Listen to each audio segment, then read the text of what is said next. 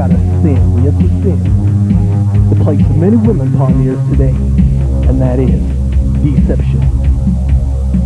Nothing in this world, nothing in this life can cut so smooth and as cold as ice, like a knife in the back, like a blow below the belt. It comes out of nowhere and boy is it felt.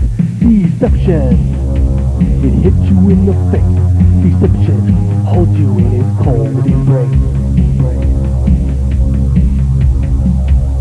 You painfully find that he's been cheating on you, and then he says that he didn't mean to be untrue. Your life is shattered, a broken trust. He says it wasn't love, it was only lust. You're living in hell, you don't know what to do. You're so confused. Why is this happening to you? You let him talk your nightmares in hand. When he begs, oh please give me another chance.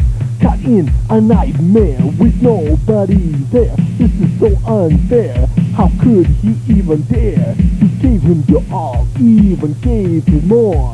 Then he went out and fucked with his whore. Damn him!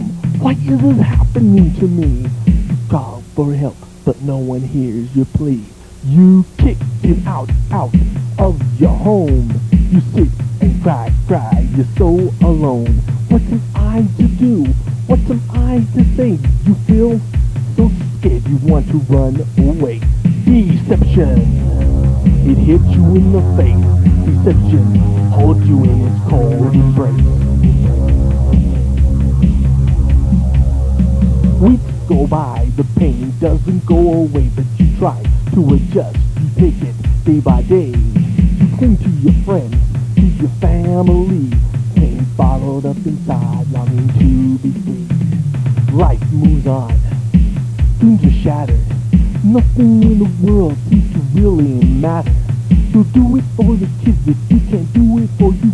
But the feeling inside leaves you not knowing what to do. Ever trust again?